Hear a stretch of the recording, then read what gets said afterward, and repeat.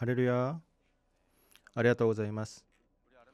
美しい賛美によって神様の前に栄光を捧げたホサンナ聖歌隊に感謝いたしますまた朝早くからまた準備されて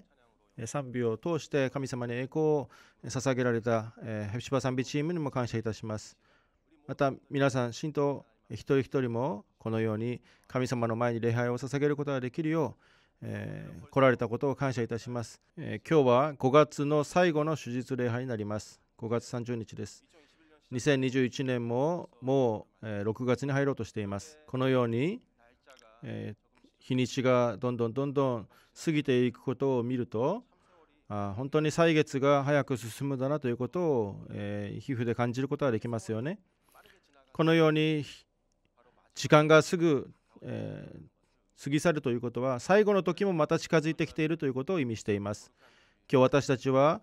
神様の前に礼拝を捧げながらまた御言葉を求めて今皆さんここに来られていますけれどもこの信仰生活をたゆむことなく継続して神様に栄光を表すことによって私たち大きな祝福を得る皆さんとなることを願います。今日の本文創世記21章30節から34節の御言葉を通して何を植えていますかという題名で御言葉を語りたいと思います。何を植えていますかと。今日の本文はアブラハムがペール芝でアビメレクと、えー、契約を結ぶ内容が記録されています。そしてそこで、えー、永遠に生きておられる神様の名を呼んだと語っていますね。皆さんよく知っておられるように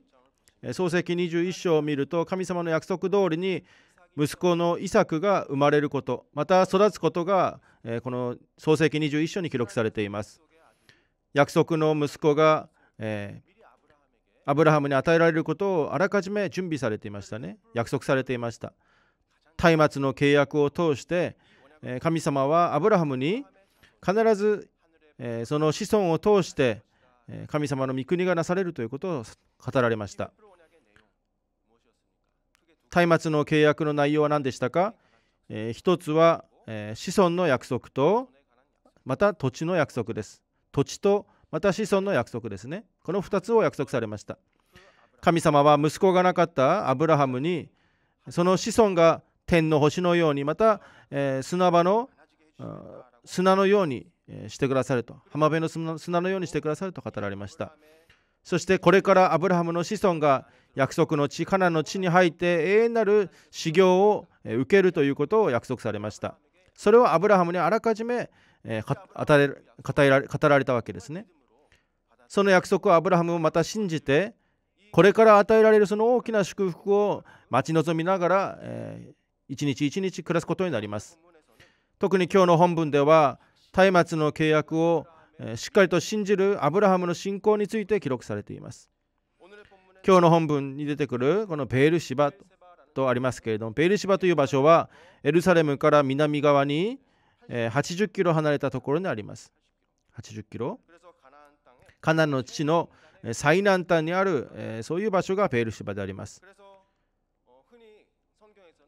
聖書ではカナンの地を表す時に、北側にあるダンからベールシバまでだというそういう、表現をしますですからベールシバというのはカナンの一番下にある境界線のところにある場所であるということを意味しています。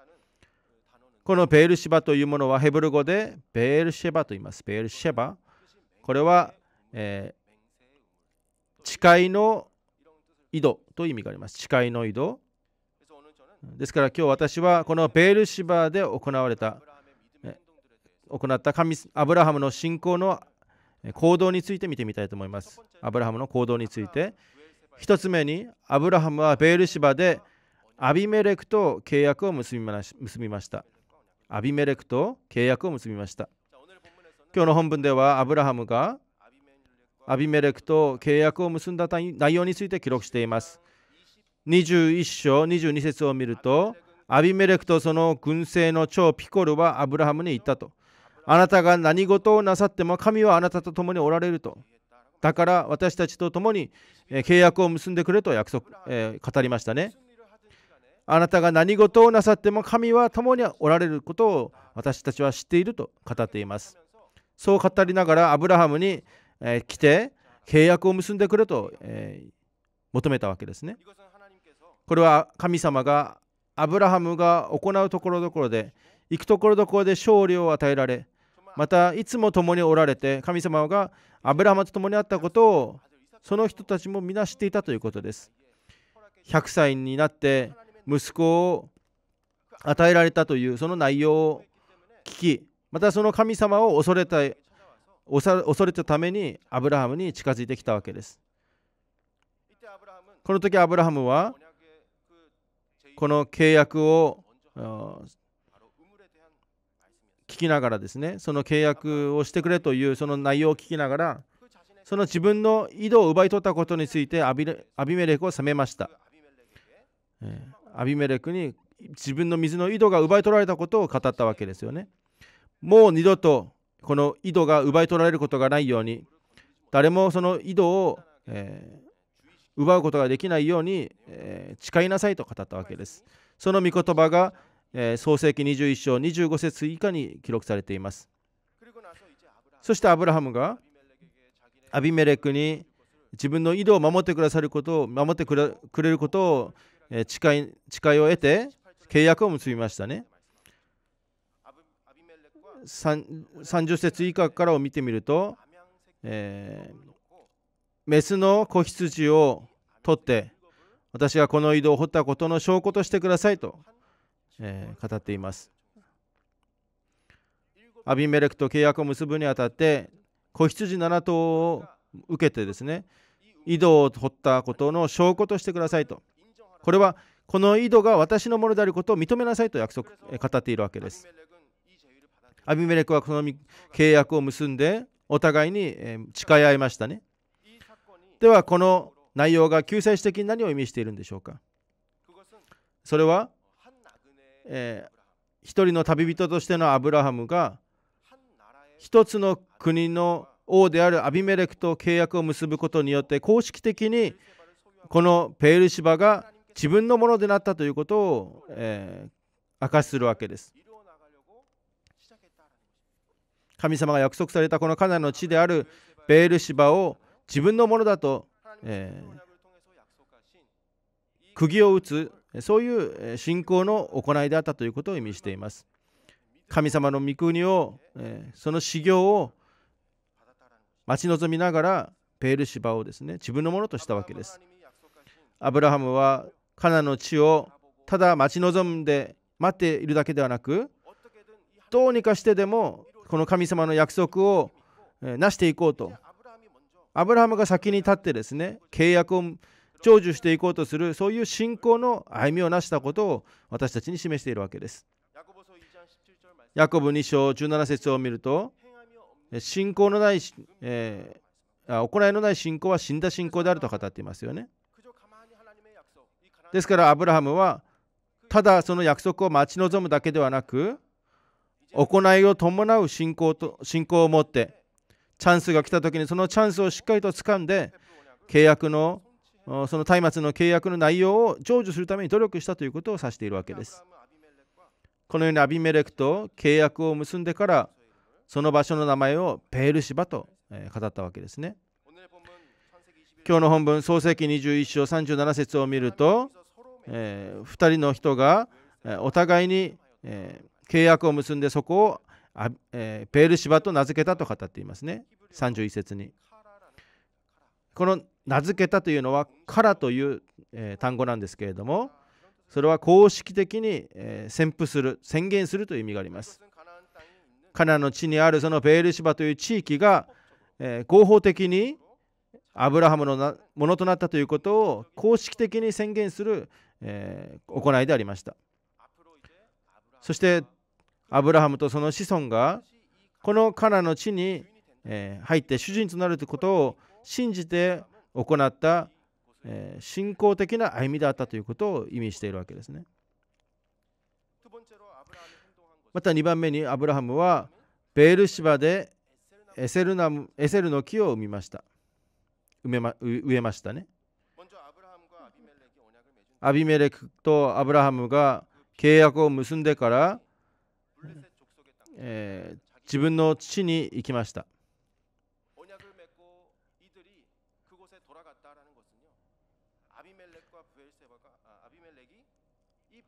この巨竜の木を植えたと語っていますけれどもこれはベールシバがそのアブラハムの土地となったということを意味していますアブラハムのものとなったということを公式的に、えー、この木を植えて自分のものとなったということを神様の前に感謝したわけですね。ではなぜアブラハムはこのベール芝に魚流の木を置いたのでしょうか。この魚流の木というものは、えー、根が深い木であります。根っこが深い木。この魚流の木というものは生命力が強いもの強い木であります。高さは9メートルぐらいになりますね。9メートル。しかし驚くべきなのはその、えー、根根が30メートルまで下がって、えー、地下に届くということです。根強いんですね。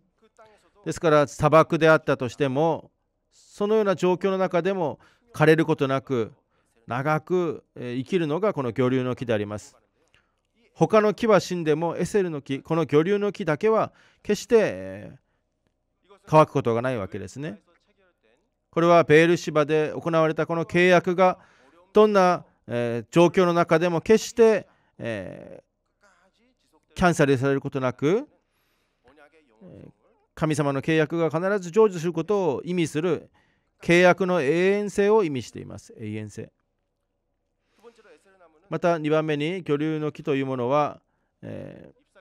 葉っぱが小さなものであります。細いんですね、え背の高いものは9メートルほどになるんですけれども、えー、葉っぱが小さいため細いためその分、えー、水分の蒸発が少ないわけですね。蒸発が少ないためもっともっと、えー、木が強くまた枯れることなくそびえ立つことができるわけですね。マルコ11章を見るとイエス様が一軸の木を呪われた事件が出てきます。葉っぱは大きく青々しているんですけれども実りが一つもありませんでした。その時その一軸の木を、えー、呪われましたね。これは私たちも同じように実りが実るものとならなければいけないということです。実りの実ったまた青々しい木とならなければならないと。実を結ぶ人生とならなければいけないことを意味しているわけですね。この魚流の木が、え細くて水分を蒸発させないようにですね私たちもこの木のような信徒とならなければいけません。与えられる御言葉与えられる恵みを蒸発してなくすのではなくその御言葉その恵みを持ってもっともっと力強く根を下ろしてまた上にも育っていくそういう強い木とならなければいけないことを私たちに意味しているわけです。アブラハムがこの恐竜の木を植えることによってこのペール芝が私のものだと、え宣言するそういう証としたわけですね。このエセルの木恐竜の木が、え証であるとしたわけです。アブラハムは神様の御言葉が必ず成就することをしっかりと信じてどんな悪の勢力が来てもこの地を奪い取ることはできないということをこの木を植えることによって証として、えー、自分の、えー、そういう主張をですね強めたわけです。エセルの木この魚流の木がある限り自分の子孫にとってもその場所はアブラハムのものであることを示すことになるわけですね、えー、矢印また、え保証書となるわけです。で私たちも同じようにアブラハムのように神様が私たちに約束された契約をしっかりとつかまなければいけません。それを信じて巨竜の木をエセルの木を植えるものとならなければいけないわけです。信仰というものはただ信仰で終わるのではなく行動として表されなければいけません。私たちもエセルの木この魚竜の木を植えてここは私の父であると私のものであるとその神様の約束をしっかりとつかむものとならなければいけないことを私たちに見しています。また3つ目に、アブラハムはベールシバで永遠に生きておられる神様の皆を呼んだと語っています。創世記21章33節にありますね。アブラハムはペールシバに一本の魚流の木を植え、そのところで永遠の神主の名を呼んだと語っています。永遠の神とエル・オルラムという単語なんですね。エル・オルラム。これは永遠なる方、永存される方ということです。また、呼んだと。この呼んだという単語もまたヘブル語でカラという単語です。同じ単語ですね。カラ。えー、宣言するという名の他にですね、えー、神様の前に礼拝を捧げるという意味があります。では、エセルの木、この魚流の木を植えて永遠の神、主の名を呼んだというのはどういう意味があるでしょうか？まず一つ目、神様を、えー、敬う礼拝を捧げたということです。神様の前に礼拝を捧げたんですね。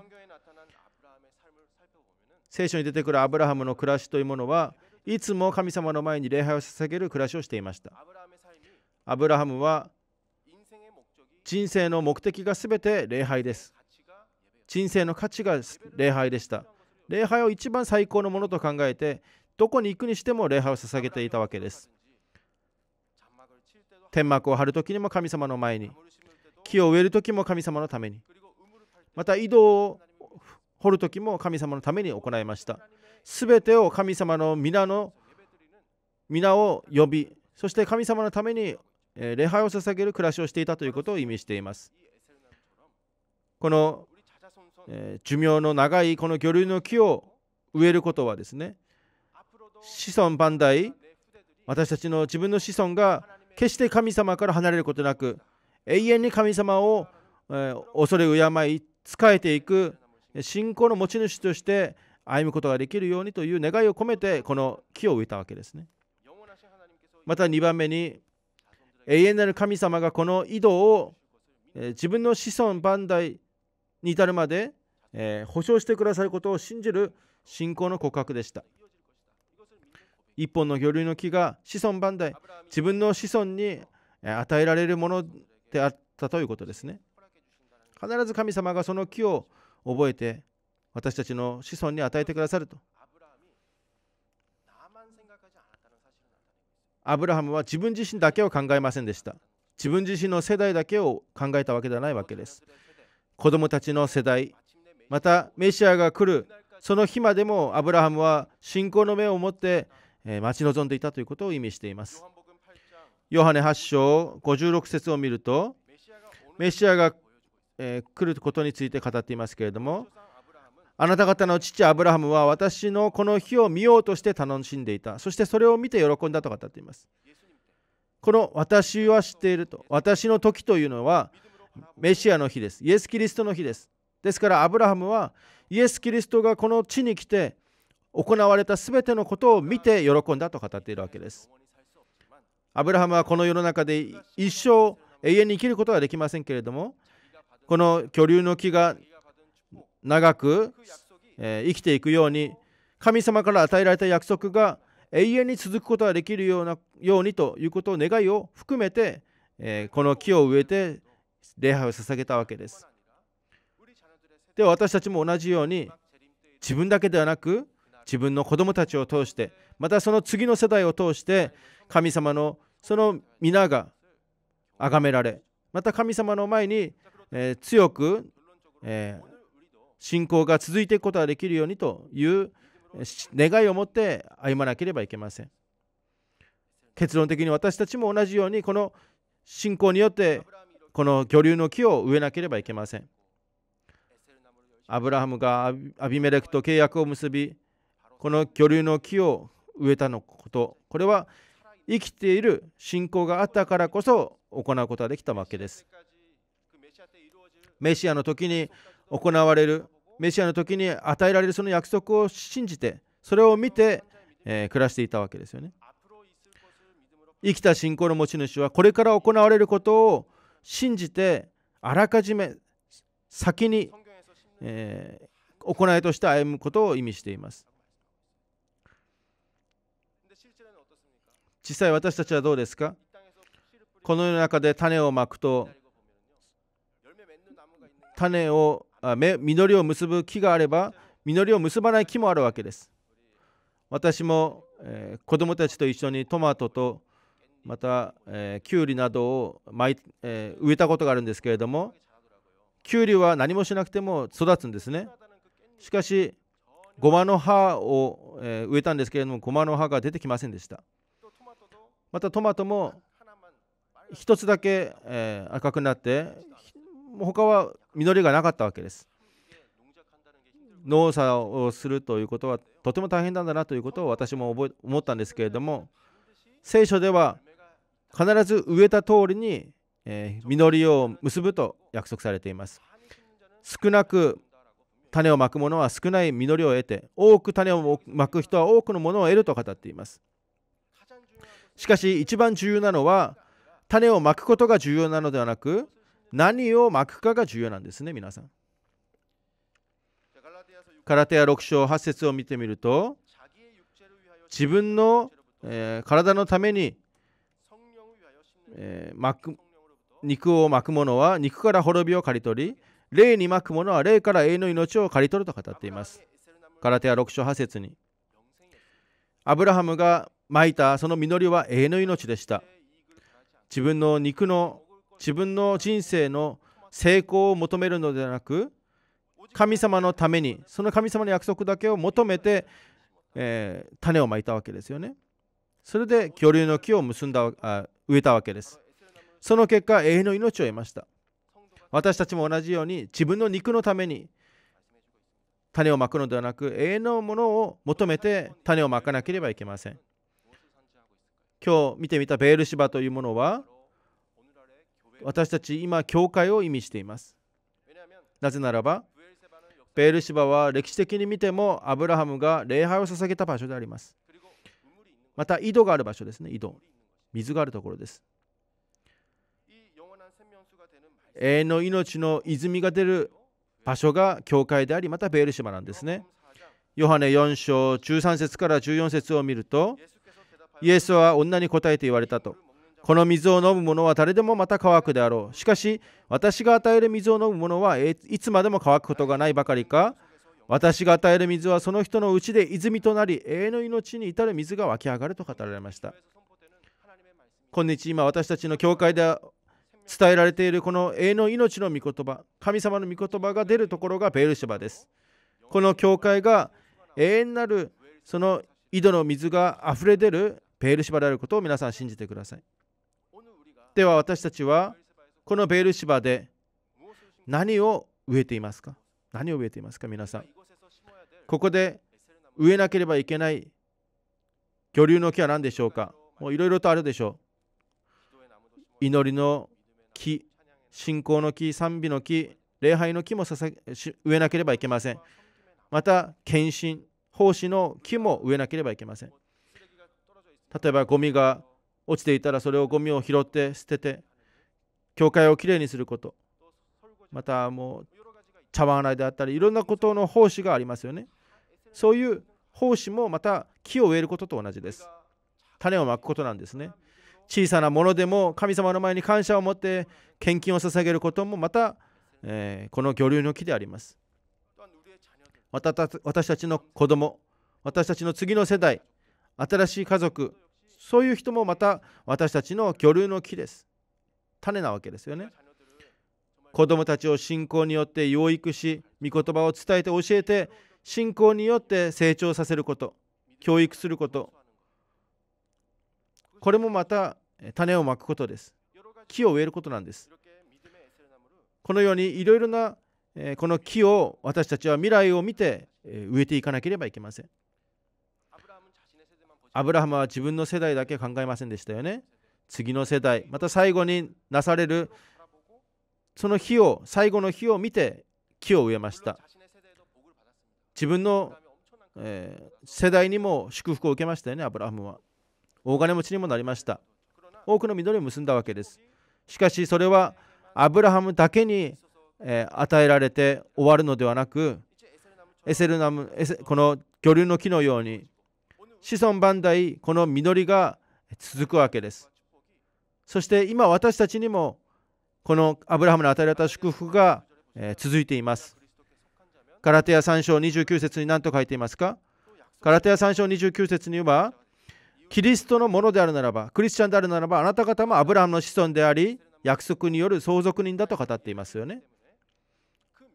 私たちもキリストを信じるものであるならば、アブラハムの子孫であり、アブラハムの祝福を私たちも今受けているわけです。また私たちもえ信仰の基礎となって私たちの子孫に御言葉を伝えてアブラハムのような信仰の伝授をしていくものとならなければいけません。では私たちはどれほど木を植えているでしょうかまたどれほど投資をし祈りをしその日を待ち望んで暮らしているんでしょうか今日私たちがこの魚類の木を植えるときに必ずその木の根が30メートルだけではなくもっともっと深く根を下ろして美しい花を開き、えー花を咲きまた多くの実を結ぶことになるということを信じて私たちもアブラハムのように多くのものを植えてまた多くの実りを受ける皆さんとなることを主の皆をもって心から祝福いたします。祈ります。